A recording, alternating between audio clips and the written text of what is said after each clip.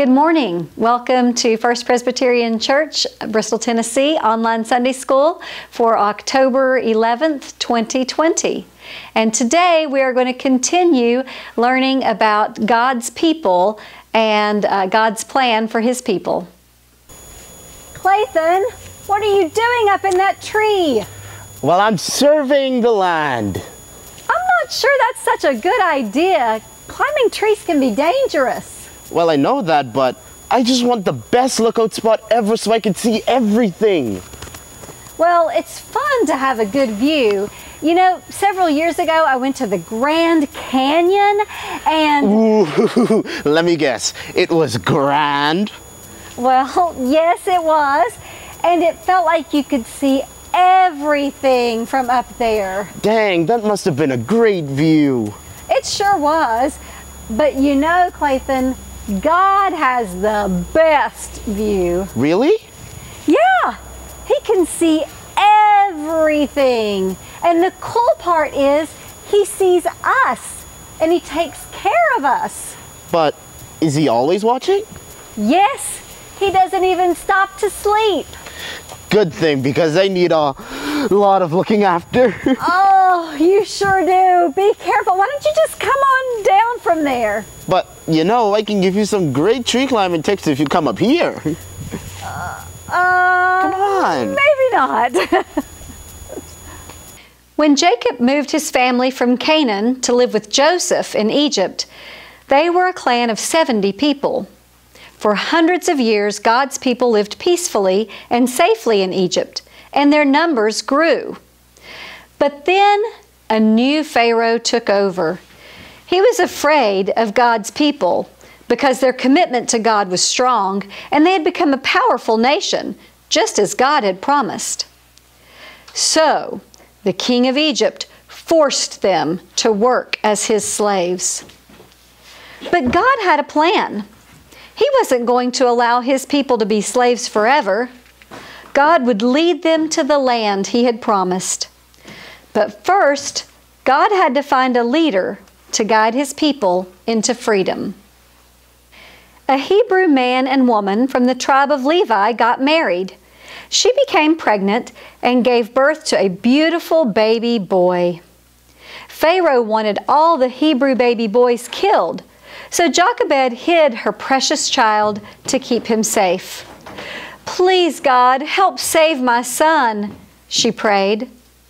Jochebed placed the baby in a basket and floated it in the Nile River. When Pharaoh's daughter came to the river to bathe, she spotted the basket in the reeds. Poor child, said the princess. He is a Hebrew baby.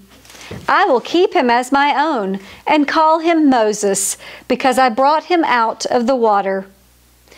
Moses became the son of the princess. He grew up in the palace in Egypt. But when Pharaoh tried to kill him for harming an Egyptian, Moses ran away to the desert. Moses lived in the desert of Midian for many years.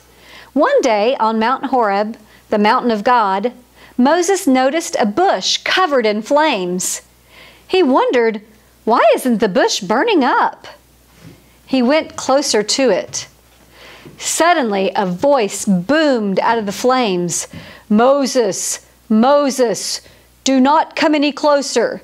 Take off your sandals, for where you are standing is holy ground. I am the God of Abraham, Isaac, and Jacob. I have heard the cries of my people. I am going to rescue them. Go back to Egypt. Tell Pharaoh to let my people go. Moses was shaking. No, Lord, not me. Who am I to talk to Pharaoh? Send somebody else. I will be with you, Moses. Here is a sign to show that I sent you. Throw your staff on the ground, and it will turn into a snake. Moses did as God instructed, and a snake slithered on the ground where the staff had been.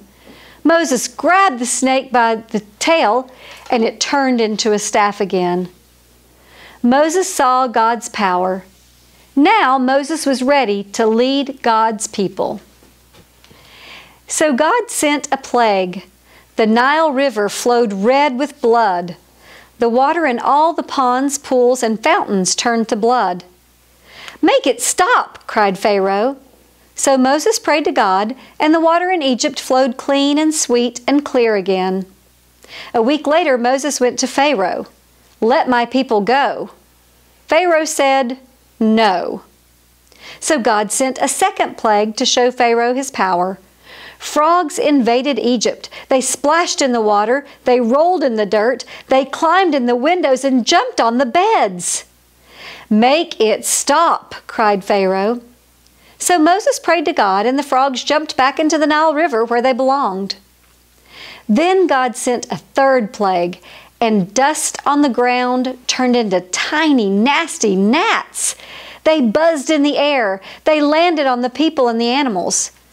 Moses went to Pharaoh again and said, Let my people go. Pharaoh said, No. So God sent a fourth plague.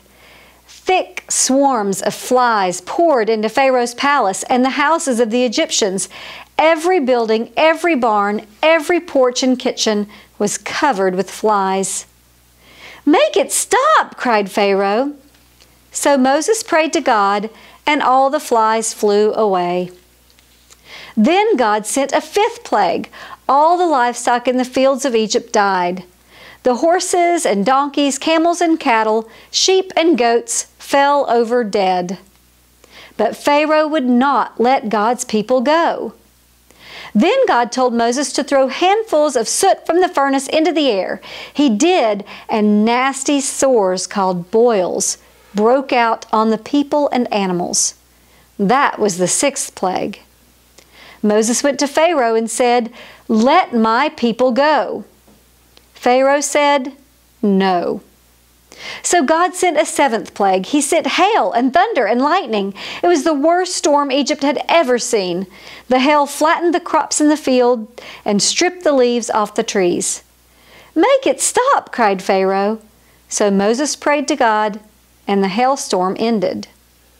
Then God sent the eighth plague. Swarms of locusts covered the land. They ate all the plants and every tree. The insects filled the house of Pharaoh and all the Egyptians. Make it stop, cried Pharaoh. So Moses prayed to God, and the wind blew the locusts away. Then God told Moses to point to the sky. Moses did, and suddenly a thick darkness covered Egypt. For three days the people couldn't see anything. That was the ninth plague. God told Moses he had one more plague. At midnight, the Lord said, I will go through the land of Egypt Every firstborn son in every household will die, but my people will be safe. This will be the worst plague of all. Then Pharaoh will let my people go. It all happened just as God said. Get out now, cried Pharaoh. Take what you need and leave.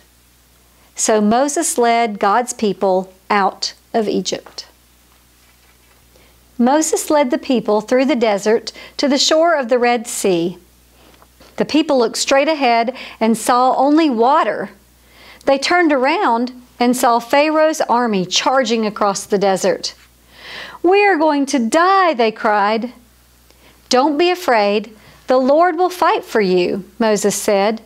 Be calm and watch what God will do. Moses raised his staff toward the sea. Suddenly, the wind blew and the water piled up into huge walls, leaving a dry path through the center of the Red Sea. The people walked to the other side on the dry ground God provided.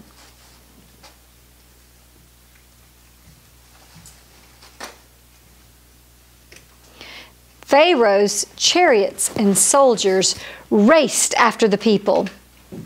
When the entire army was in the middle of the sea, God made the walls of water crash in on them. The sea swallowed the Egyptian army, the chariots, and the horses. But God's people were safe on the other side. Thank you for joining us today. Um, remember, God is always watching over you and He loves you very much. And I'm going to close this in a word of prayer. Father God, thank you uh, for your word, your true word that tells us the stories of people um, who lived long ago, um, but we can learn lessons today. Thank you for watching over Moses from the time he was a baby all through his life. And thank you that you watch over and protect us. Help us to always trust in you. In Jesus' name, amen.